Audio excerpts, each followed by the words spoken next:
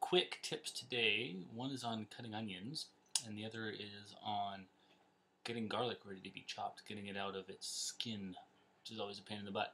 I'm going to show you two tricks. Two tricks. So with the onion, we're going to cut it in half from the top. Okay, put one aside for now. And of course we have to peel the skin off. Get that top layer off. So now we've got half an onion. Easy. Lay it flat.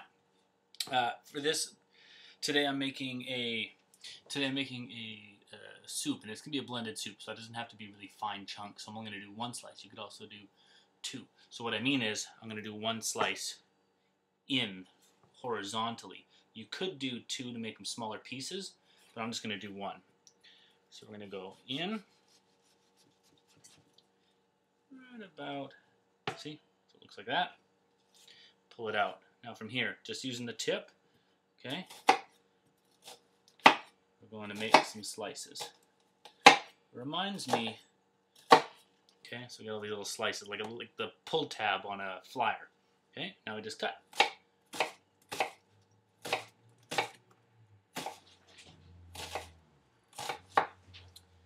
And at the end, all we're left is it's just this little nub, and we could even chop it down a little further if we wanted.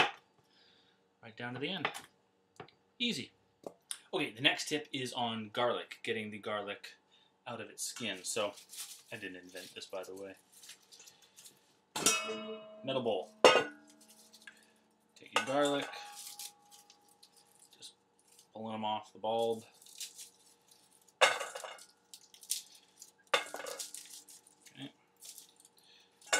There we go. A second metal bowl. Just like that.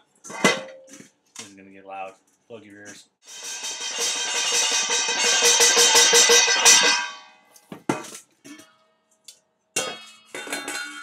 One, two, three, four,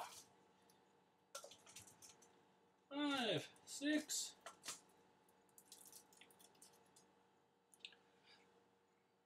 and there we go all fresh out of out of the bulb and ready to chop.